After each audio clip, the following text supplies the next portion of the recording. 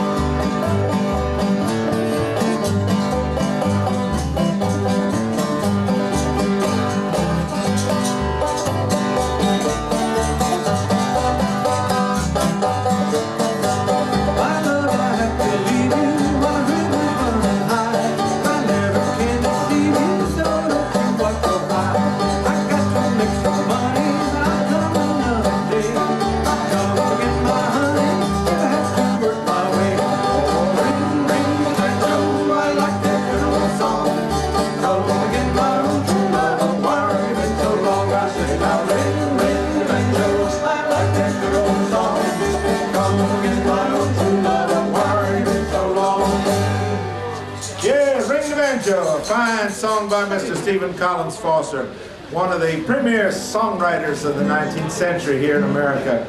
Very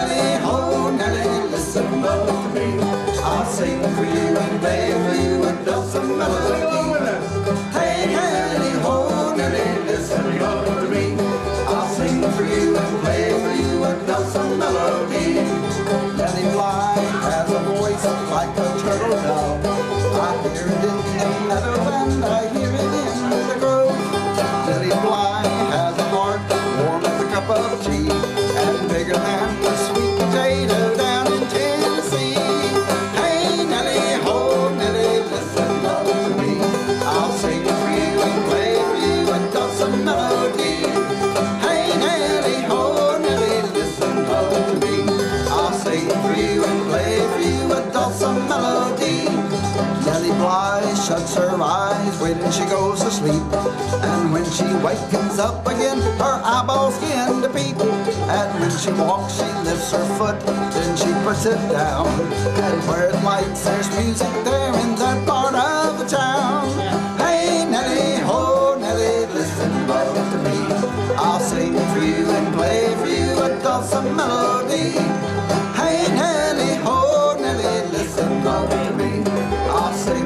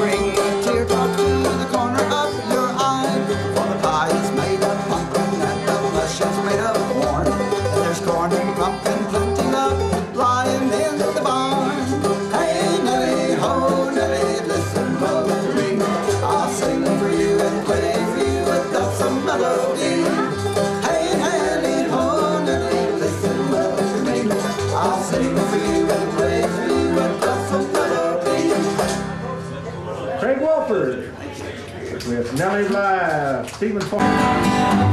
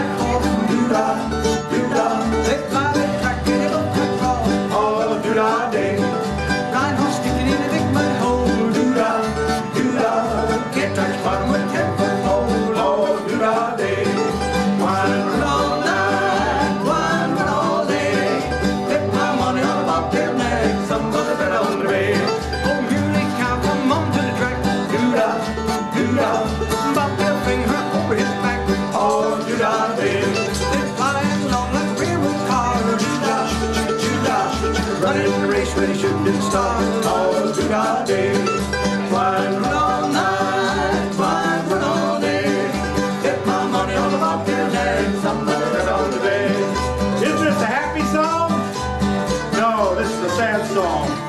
Every time we play this song, I remember, remember my cousin, that poor little child. When he was just a little child, they named him Eugene Doodah. Isn't that awful name? Terrible name. He suffered with that name all through his formative years. He knew that he got to be 21 years old, he could legally change his name. So on his 21st birthday, he ran down to the courthouse knocked on the judge's door and said, Judge, Your Honor, I got to change my name. He says, Well, if you're 21, I'll let you change your name today. What is your name now? He said, My name is Eugene Doodah. Oh, Lordy. Judge says, I'll let you change it today. What do you want to change it to? He Said, I want to change that Eugene to Zippity.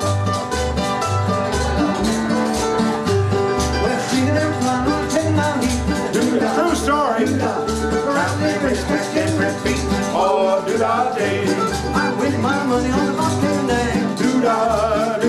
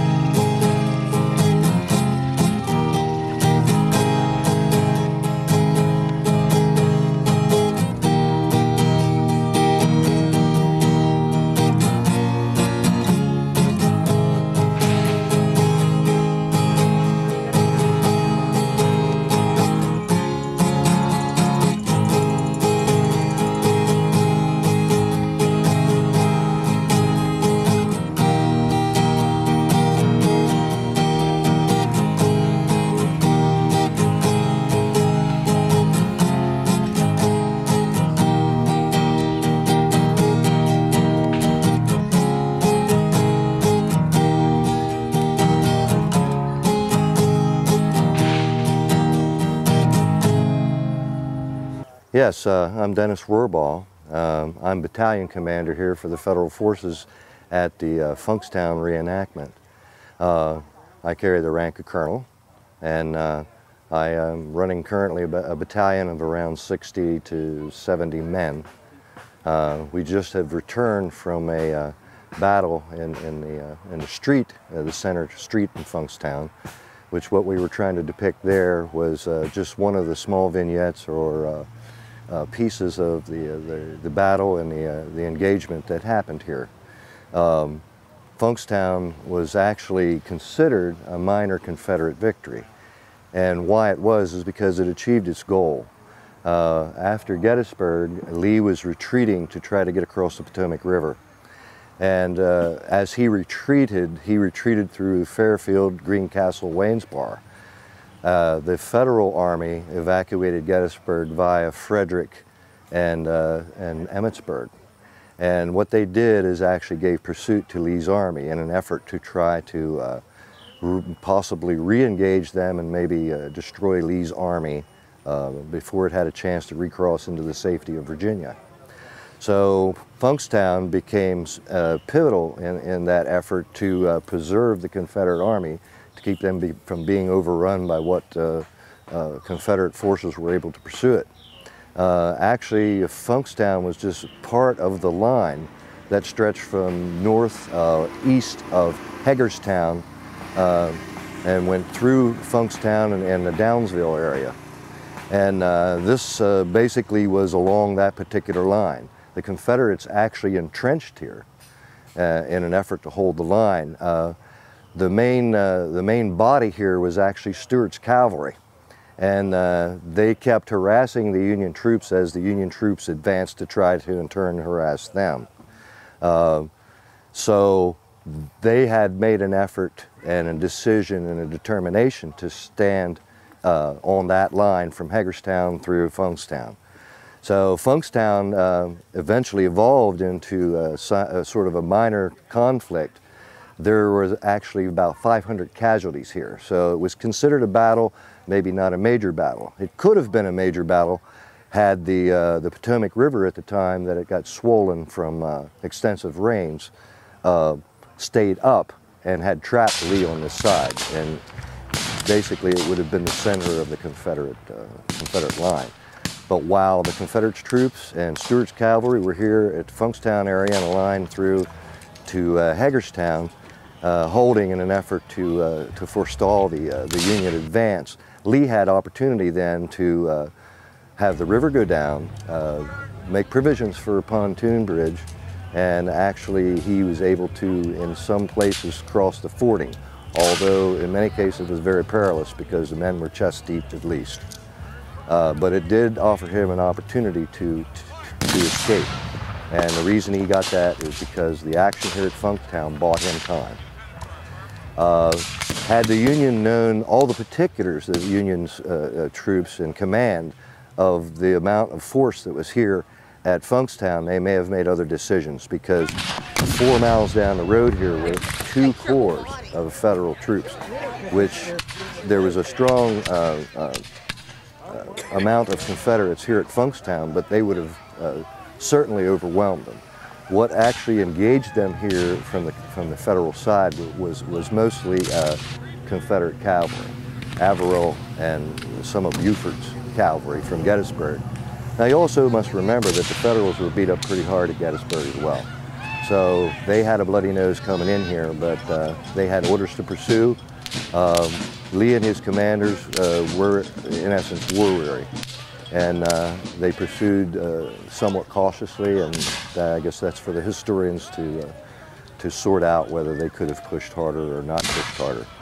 Um, but they uh, mainly, this was a cavalry engagement. There was, uh, there was federal infantry here as well. The main being from the 1st Vermont. And there were also uh, contingents of uh, actually the uh, 7th Maryland, who we have represented in this street here. And uh, they were sent out mainly as skirmishers and, and to harass and basically they were a group of sharpshooters who would pick off the Confederate sharpshooters as they tried to pick off the federal officers. So it got quite nasty. Uh, there were some major thrusts from both sides. Uh, there, there was an occasion when the Confederates advanced and, and uh, routed some Union troops, took about 50 to 60 prisoners. And there was another instance where a federal advance actually uh, had the same, same result. Uh, the Confederate and Union cavalry were engaged almost continuously during, during, the, the during the Battle of Funkstown here. Um, they basically fought to a standstill. Uh, the Union troops uh, basically held their position. The Confederates held theirs in the entrenchments they had made. And when they, the, the Confederates had gotten, uh, the Confederate command here at Funkstown had gotten word that Lee was uh, able to safely start to, to cross the Potomac in the Williamsport area, uh, they made a decision to start a gradual withdrawal by stealth at night. And their, their first move was actually to move out of this location here in this line over across to the other side of Antietam Creek. And uh, you know, when they got to the other side of Antietam Creek, they, they made several demonstrations to just show they were around, but what they, what they did is they actually gradually withdrew, withdrew, withdrew until they were safely out of the area. And uh, the, Confederate, uh, the federal troops then did pursue them, especially down around uh, uh, the, the well actually a little west of Boonesboro. There was some minor engagements down there that was connected to this Funkstown uh, engagement. And actually one place down there, my home unit, the 3rd Maryland, was in on a uh, operation that actually took 300 Confederate prisoners at that location. So the Confederate line was starting to break through, but by the time they forced the issue, and by the time the corps, the 1st and 6th Corps got activated down four miles down the road here, till they got back, they went into camp the night before, and they didn't engage here. By the time they got back up, rested, and you know, because they had been a forced march from Gettysburg through Frederick to here and over South Mountain. By the time they got uh, able to mount some kind of offensive, the Confederates had already safely withdrawn across the uh, Potomac River and, and they were safely back on Virginia territory. And uh, at that point, uh, the, uh, the Gettysburg campaign was at a close. For photos of the Funkstown reenactment, go to WashingtonCounty.com, keyword Civil War.